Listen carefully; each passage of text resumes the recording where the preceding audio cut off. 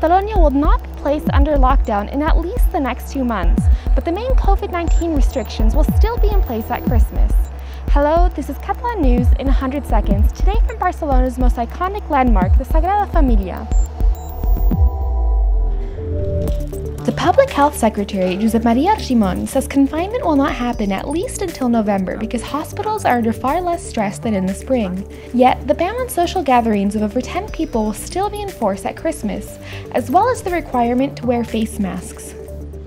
Catalonia and Spain's governments might meet in the coming weeks after both presidents agreed to prepare a summit. It'd be the second time the negotiation table over the Catalan conflict convenes. Yet, what to tackle continues to be a contentious point.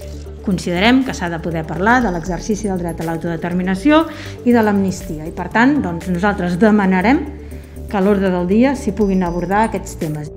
Keeping his representative functions as Catalan president, this is what far-left CUP proposes for Quim Torra in the event he is ousted for disobedience. The unionist opposition was outraged at the idea.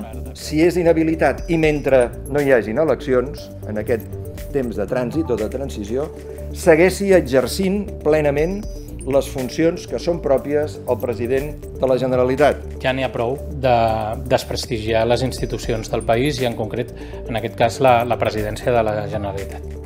The Performing Arts Fair Fira Tàrrega will be held online tomorrow and on Thursday due to the pandemic. A virtual marketplace for professional performers will be the main highlight. The Sagrada Familia keeps on offering an unprecedented sight. No tourists, and the temple is only open on weekends. Locals can visit for free, but tickets run out very quickly. Next week, there will be a raffle, and anyone can take part to get one of the 12,000 tickets available for September 18th to the 20th.